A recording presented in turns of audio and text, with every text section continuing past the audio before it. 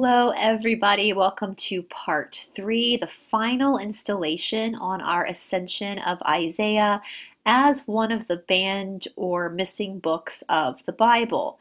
If this is your first time on the channel, first of all, welcome. I'm so, so, so glad you're here. And second of all, you might not want to start with part three um, because you're coming at the tail end of the story. A link to part one and a link to part two will be down in the description box below. Once again, on Tuesdays from 1 to 3 p.m., I am on David Zublick's platform, The Dark Outpost, where we read through these books of the Bible together. Again, it is a live show, so normally there's a phone number available if you would like to call in and contribute to the conversation. Now, David is not on YouTube. He is on BitChute and Rumble, but he also has his own platform. A link to that platform is down in the description box below. Now, I know some of you have joined uh, the Dark Outpost so that you could be a a part of that discussion and I've gotten a lot of message asking me how to find the archived episodes. So I'm on every Tuesday. So if you go through and find the dates for Tuesdays, you'll find my section of the missing books of the Bible. David is like a warrior when it comes to doing um, studio work, I should say. I know he worked in radio for a long time, so he's used to recording for many hours. And so he's literally on his channel for his shows are like three, four hours a show, and he does different segments. So when you're looking at the thumbnails of all of the videos, you might not see me on the thumbnail because some days he has multiple guests on the show. So just look for the Tuesday dates, and that's when you'll find, if you click click on the segment, you should see, or the video, you'll you should see like where I'm coming. Usually, I'm my segment on Tuesdays is about an hour into into the show. He does about an hour of like the news and stuff and what's going on in the world first, current events, and then about like an hour in, you'll see me come into the show. So um, I hope that helps explain it. Um, I think there's also an email on his on his platform. If you need to get in contact with him, he can help you out as well.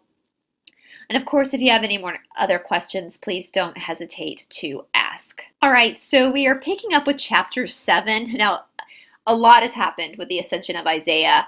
And we know from the book of Isaiah in the Bible that Isaiah, he tends to, when he does his prophecies, he sees his visions, when he's writing them down, they're not in like linear order. They kind of go in and out different times. And the book of Isaiah, as well as the Ascension of Isaiah, has been one of the most confusing books for people to read. However, us on this channel, we're not just looking at the missing books of the Bible to just look at them.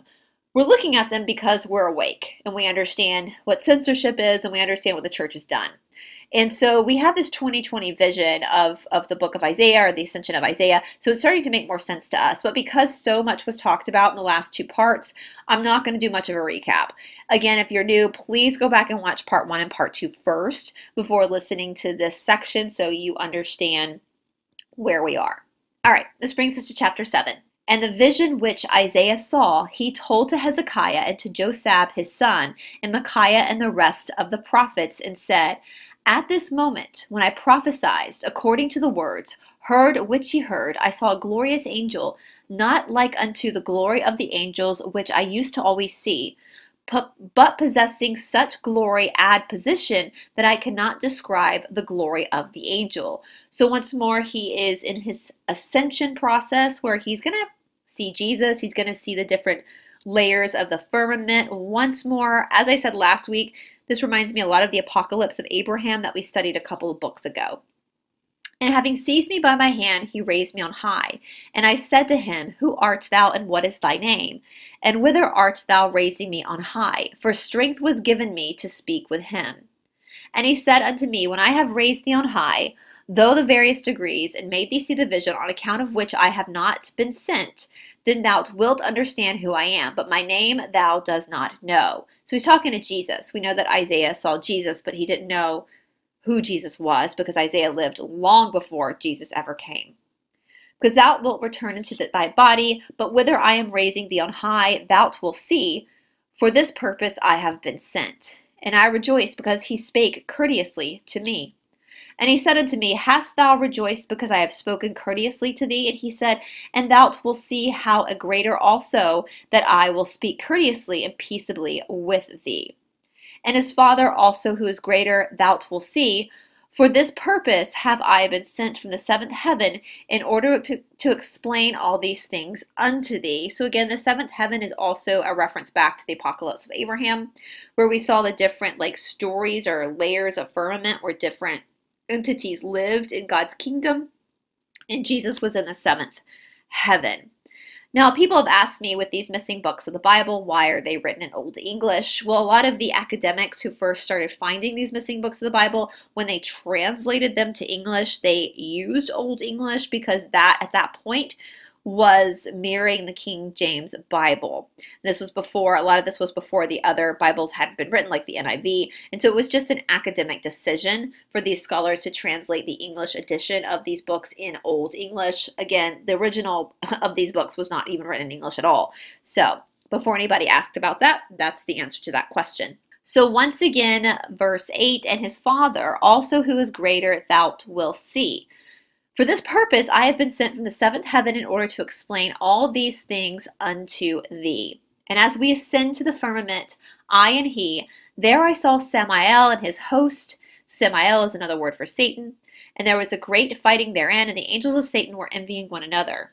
And as above, so on the earth, also for the likeness of that which is in the firmament is here on the earth. And I said unto the angel who was with me, What is this war, and what is this envying? And he said unto me, So it has been since the world was made until now, and this war will continue till he whom thou shalt see will come and destroy him. So once again, we saw this last week. Isaiah's prophecy, as I said, it kind of goes back and forth. It's not linear. So he's meeting Jesus, and so he again he lived before Jesus, and so he's seeing the prophecy of Jesus coming the first time. But he's also seeing the prophecy of when Jesus will come back the second time which is the world that we're living in now. And afterwards, he caused me to ascend to that which is above the firmament, which is in the first heaven. And there I saw a throne in the midst, and on its right and on its left were angels. And the angels on the left were not like unto the angels who stood on the right, but those who stood on the right had the greater glory, and they all praised with one voice. And there was a throne in the midst, and those who were out he left gave praise after them but their voice was not such as the voice of those on the right, nor their praise like the praise of those. And I asked the angel who conducted me, and I said unto him, To whom is this praise sent? And he said unto me, It is sent to the praise of he who sitteth in the seventh heaven, to him who rests in the holy world, and to his beloved, whence I have been sent to thee, thither it is sent. And again he made me to ascend to the second heaven. Now the height of that heaven is the same as from the heaven to the earth and to the firmament. And I saw there, as in the first heaven, angels on the right and on the left, and a throne in the midst, and the praise of the angels in the second heaven. And he who sat on the throne in the second heaven was more glorious than all the rest. And there was a great glory in the second heaven, and the praise also was not like the praise of those who were in the first heaven. And I fell on my face to worship him, but the angel who conducted me did not permit me. But he said unto me, Worship neither throne nor angel, which belongs to the six heavens. For this cause I was sent to conduct thee, until I tell thee in the seventh heaven. For above all the heavens and their angels has thy throne been placed, and thy garments and thy crown, which thou shalt see. And I rejoiced with great joy, and those who love the Most High and his beloved will afterwards will ascend thither by the angel of the Holy Spirit. And he raised me to the third heaven. And in like the manner I saw those upon the right and upon the left, and there was a throne there in the midst. But the memorial of this world is there unheard of.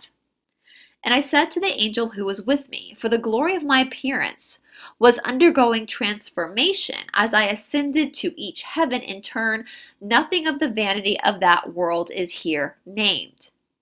And he answered me and said unto me, Nothing is named on account of its weakness, and nothing is hidden there of what is done. And I wish to learn how it is known. And he answered me, saying, When I have raised thee to the seventh heaven, whence I was sent, so that which is above these, then thou shalt know that there is nothing hidden from the thrones and from those who dwell in the heavens from the angels.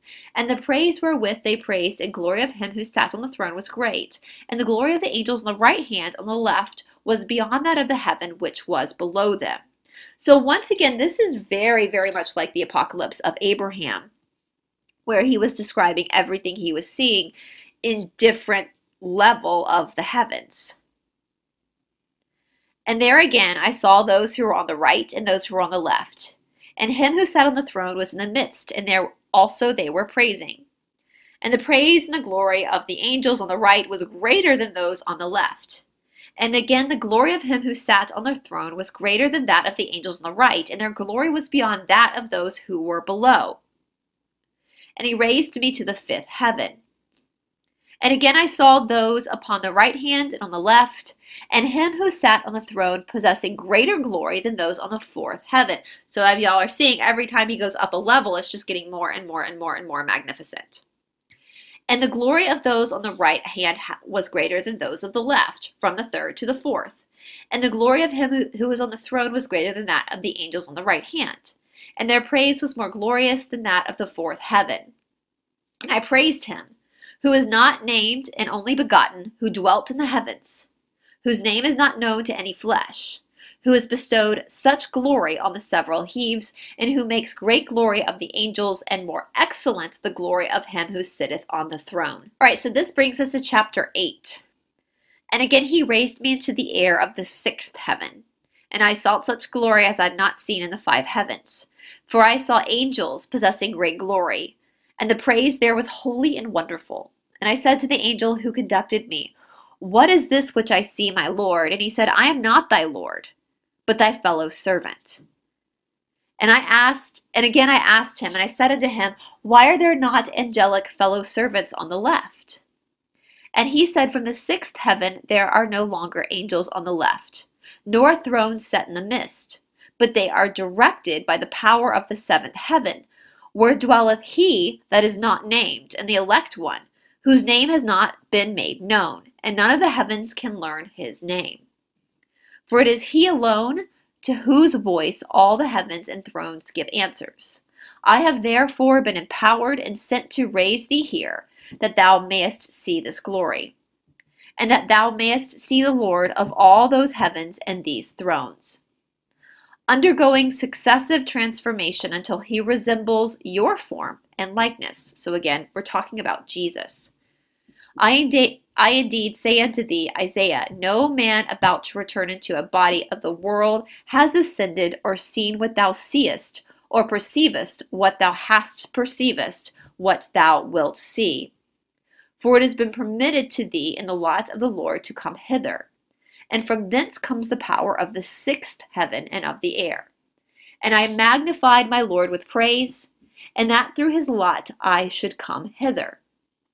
And he said, Hear furthermore, therefore, this also from thy fellow servant, when from the body by the will of God hast thou hast ascended hither, then thou wilt receive the garment which thou seest, and likewise other numbered garments laid up there thou wilt see.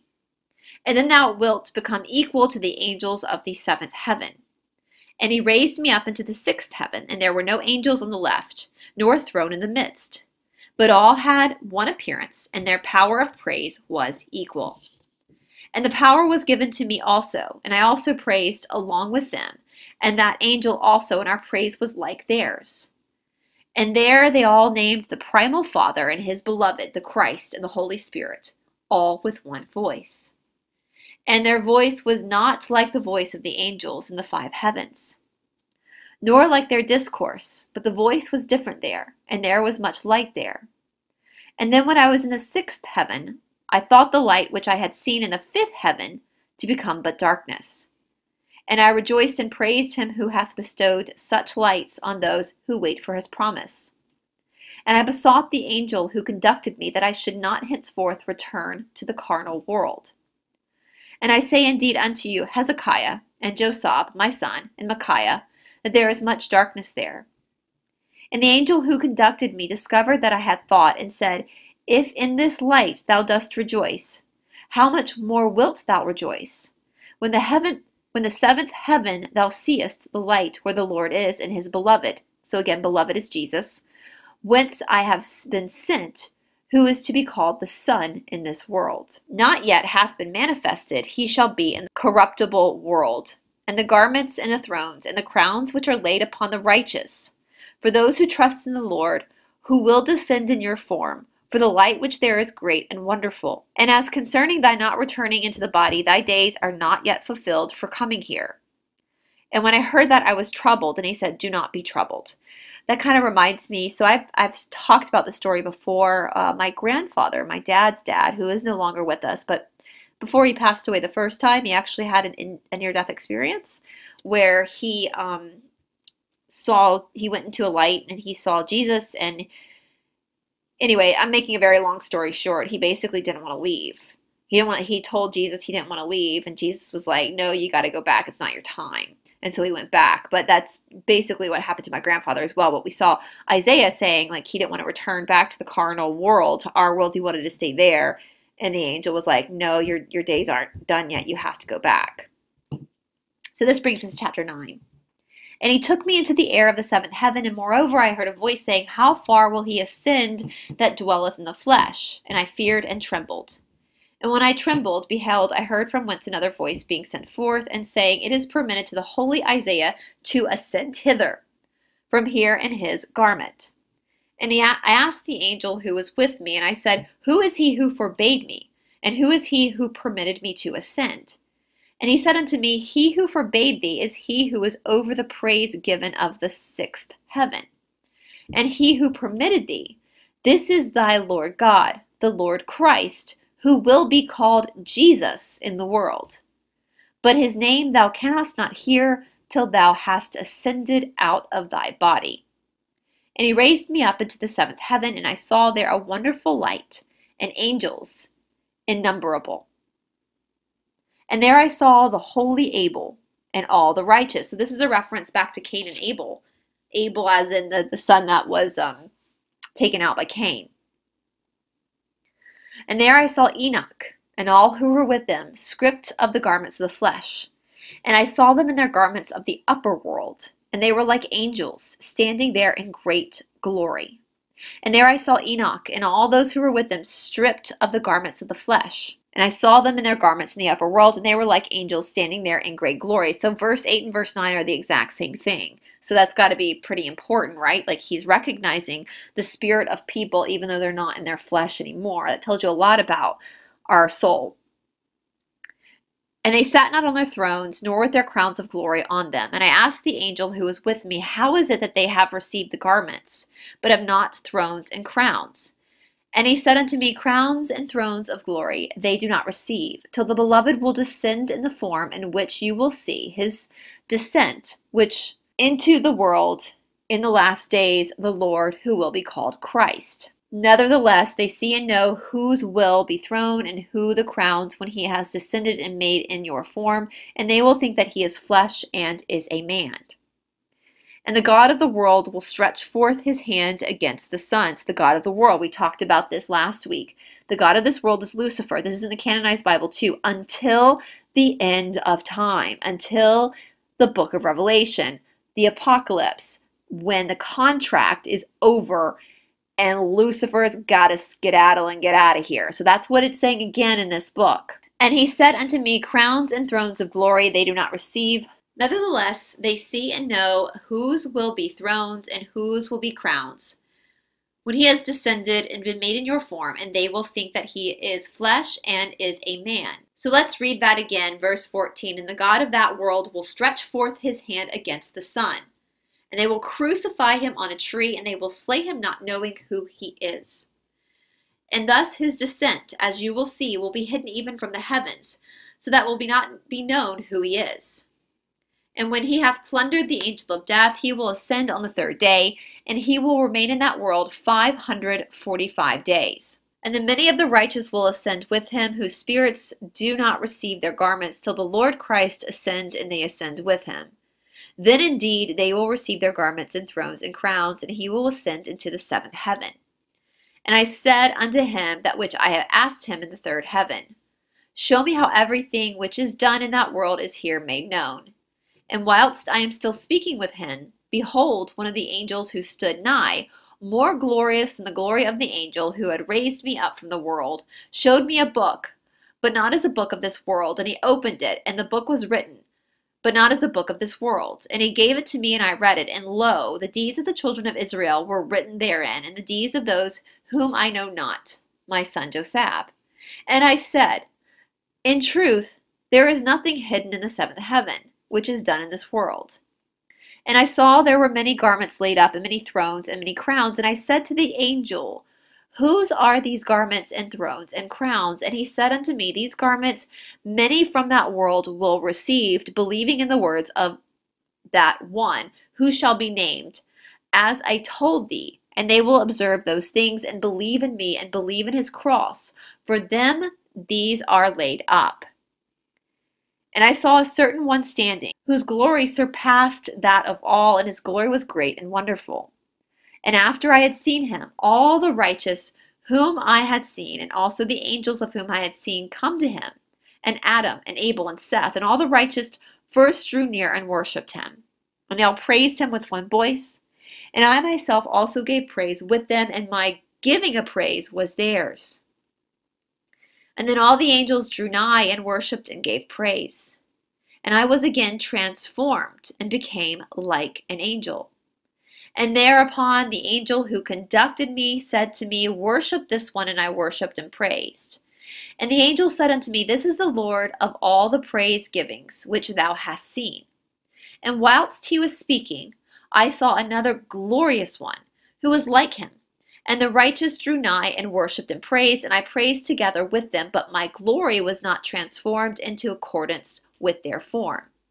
And thereupon the angel drew near and worshipped him. And I saw the Lord and the second angel, and they were standing. And the second whom I saw was on the left of the Lord, and I asked, Who is this? And he said unto me, Worship him, for he is the angel of the Holy Spirit, who speaketh in thee and the rest of the righteous. So it's almost like he's seeing the Trinity, right? The Father, Son, and the Holy Ghost. And I saw the great glory, the eyes of my spirit being open, and I could not thereupon see, nor yet could the angel who was with me, nor all the angels who I had seen worshiping my Lord. But I saw the righteous beholding with great power the glory of the one. And my Lord drew nigh to me, and the angel of the Spirit, he said, See how it is given to thee to see God, and on thy account power is given to the angel who is with thee. And I saw how my Lord and the angel of the Spirit worshipped, and they both together praised God. And thereupon all the righteous drew near and worshipped, and the angels drew near and worshipped, and the angels praised.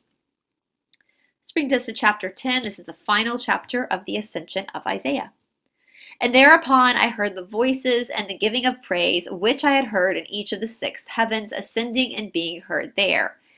And all were being sent up to that glorious one whose glory I could not behold. And I myself was hearing and beholding the praise which was given to him. And the Lord and the angel of the Spirit were beholding all and hearing all. And all the praises which were set up from the sixth heaven are not only heard but seen. And I heard the angel who conducted me, and he said, This is the most high of the high ones, dwelling in the holy world and resting in his holy one who will be called by thy Holy Spirit through the lips of the righteousness of the Father the Lord. And I heard the voice of the Most High, the Father of my Lord, saying to my Lord Christ, who will be called Jesus, Go forth and descend through the heavens, and thou wilt descend to the firmament and to the world. To the angels in Sheol, or hell, thou wilt descend. The Haguel, thou wilt not go. And thou wilt become like unto the likeness of all who are in the five heavens and thou wilt be careful but to come like the form of the angels of the firmament, and the angels also who are in Sheol, or hell. And none of these angels of the world shall know that thou art with me in the seven heavens and their angels, and they shall not know that thou art with me till the loud voice I have called to the heavens, and their angels and their light, even unto the sixth heaven, in order that you mayest judge and destroy the princes and angels and gods of that world, and the world that is dominated by them for they have denied me and said, We alone are, and there is none beside us. And afterwards, from the angels of death, thou wilt ascend to thy place, and thou wilt not be transformed in each heaven, but in glory wilt thou ascend and sit on my right hand. and thereupon the princes and powers of that world will worship thee. These commandments I heard the great glory given to my Lord. And so I saw my Lord go forth from the seventh heaven into the sixth heaven. And the angels who conducted me from this world was with me and said unto me, Understand Isaiah, and see the transformation and descent of the Lord will appear. And I saw when the angels saw him, thereupon those in the sixth heaven praised and lauded him. For he had not been transformed after the shape of the angel there, and they praised him, and I also praised them. And I saw when he descended into the fifth heaven, that in the fifth heaven he made himself like unto the form of the angels there. And they did not praise him nor worship him, for his form was like unto theirs. And then he descended into the fourth heaven and made himself like unto the form of the angels there. So as he goes down, he's manifesting into the images of what they see in that realm of reality, that dimension of reality, which is how he came as Jesus into our realm of reality, appearing as a man. When they saw him, they did not praise nor laud him, for his form was like unto their form. And again I saw when he descended into the third heaven, and he made himself like unto the form of the angels in the third heaven. And those who kept the gates of the third heaven demanded the password, and the Lord gave it to them in order that he should not be recognized. And when they saw him, they did not praise or laud him, for his form was like unto their form. And again I saw him when he descended into the second heaven. And again he gave the password there. Those who kept the gate proceeded to demand, and the Lord to give. And I saw when he made himself like unto the form of the angels in the second heaven. And they saw him, and they did not praise him, for his form was like unto their form. And again I saw when he descended into the first heaven. And there also he gave the passwords to those who kept the gates. And he made himself like unto the form of the angels who were on the left of that throne, and they neither praised nor lauded him, for his form was like unto their form. But as for me, no one asked me on account of the angel who conducted me. But he again descended into the firmament, where dwelleth the ruler of the world. So that's Lucifer. And he gave the password to those on the left. And his form was like theirs, and they did not praise him there. But they were envying one another, fighting. For there is power of evil, and envying about trifles. And I saw when he descended that he made himself like unto the angels of the air, and he was like one of them. And he gave no password for one was plundering and do violent, doing violence to another. All right, guys, that brings us to chapter 11. Sorry, I thought chapter 10 was the last chapter, but I guess chapter 11 is.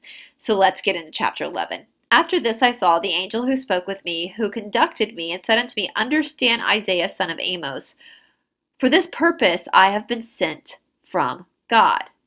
And indeed I saw a woman of the family of David the prophet, named Mary. She was espoused to a man named Joseph a carpenter.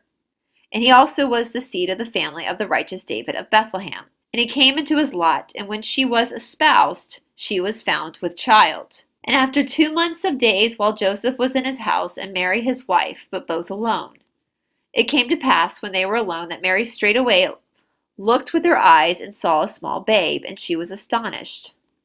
And after she had been astonished, her womb was found as formerly before she had conceived.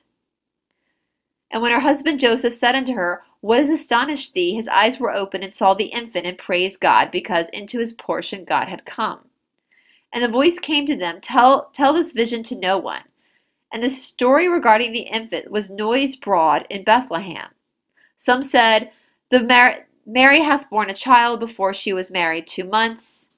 And many says, She has not borne a child, nor has a midwife gone up to her, nor have we heard the cries of labor pains. And they were all blindly respecting him, and they were all new regarding him, though they knew not whence he was. So that's interesting. So she was only pregnant for like two months. That's the first time I've heard that. But I guess it was kind of like the baby just popped out. That's kind of how I read it. What do you guys think? So it definitely was a very different delivery, even though we know he came through as a man. And they took him and went to Nazareth in Galilee. And I saw, O Ezekiel and Joseph my son, and I declared to the other prophets also who were standing by that this hath escaped all the heavens and all the princes and all the gods of this world. And I saw in Nazareth he sucked the breast as a babe and as a custom, customary in order that he might not be recognized. When he had grown up, he worked great signs and wonders in the land of Israel and Jerusalem. And after this adversary envied him and roused the children of Israel against him, not knowing who he was, they delivered him to the king and crucified him, and he descended to the angels of hell. In Jerusalem, indeed, I was him being crucified on a tree. And likewise, after the third day, rise again, remain days. And the angel who conducted me said, Understand, Isaiah. And I saw he sent out his apostles and ascended. And I saw him, and he was in the firmament, but he had not changed himself into their form. And all the angels of the firmament and Satan saw him, and they worshipped. And there was much sorrow there while they had said, How did our Lord descend into our midst? And we perceive not the glory which has been upon him, which we see has been upon him for the sixth heaven. And he ascended in the second heaven, that he will not transform himself. But all the angels who were on the right hand and the left hand thrown in the midst, both worshipped him and praised him. How did our Lord escape us whilst descending, and we perceived not? And in like manner he ascended into the third heaven, and they praised and said in like manner. And in the fourth heaven and the fifth they also, they said precisely after the same manner. But there was one glory, and from it he did not change himself. And I saw when he ascended into the sixth heaven, and they worshiped and glorified him. But in all the heavens they praised, increased in one value. And I saw how he ascended into the seventh heaven, and all the righteous and all the angels praised him. And when I saw him sit down on the right hand of great glory, whose glory I told you that I could not behold, and also the angel of the Holy Spirit, I was sitting on the left hand. And this angel said unto me, Isaiah, son of Amos, it is enough for thee, for thou hast seen that no child of flesh has seen. And thou wilt return into thy garment of flesh until thy days are complicated. Then thou wilt come hither. These things Isaiah saw and told unto all that stood before him, and they praised. And he spake to Hezekiah the king, and said, I have spake these things, both the end of the world. And all this vision will be consummated in the last generations. Isaiah made himself swear that he would not tell it to the people of Israel, nor give these words to any man to, to transcribe. Such things ye will read, and watch ye in the Holy Spirit, in order that ye may receive your garments and thrones and crowns of glory, which are laid upon the seventh heaven. On account of these visions and prophecies, Samael, Satan, saw in sunder Isaiah the son of Amos the prophet by the hand of Manasseh. And all these things Hezekiah delivered to Manasseh in twenty sixth year. But Manasseh did not remember them, nor place these things in his heart, but became the servant of Satan, who was destroyed. Here endeth the vision of Isaiah the prophet with his ascension. So that was super interesting. Again, very much resembles the apocalypse of Abraham. And once again, reiterating the point that for the last, what, 6,000 years or so, Lucifer has been the God of this world. And now the apocalypse is coming, and that's when God will get rid of Lucifer so that God can reign again. All right, guys, let me know your thoughts on that. I will let you guys know what our next book is. I'm debating between two books right now. Um, next week, I'm going to be on vacation. I've got some videos that I've got planned to put up for you guys while I'm on vacation. But because I will not be on the Dark Outpost next week because I'll be away, uh, there won't be a, an introduction to a new book next week. It will be the week after next. And once again, once I figure out which book we're going to do next, I will put that on the community board for those who are getting the material before we start the material, we'll have an opportunity to go and do that before we actually start the new book. All right, guys, I hope you have a wonderful day, and I'll talk to you soon. Bye.